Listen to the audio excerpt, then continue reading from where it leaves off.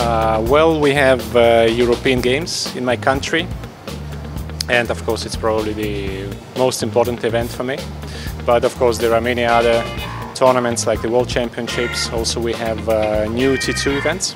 It would be really nice to qualify, although it's uh, with this current qualification system, it's very, very difficult. But of course, I will try.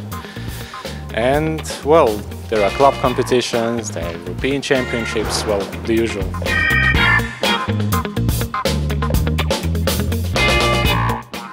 Successful, reaching maybe 16 quarterfinals.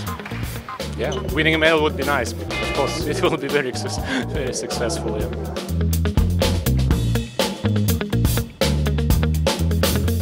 There, there are a few things. Of course, I wish my family that uh, we stay healthy and uh, that everything is going well. Also, my oldest son is going to study this year, you know, so all the best, yeah, to him as well.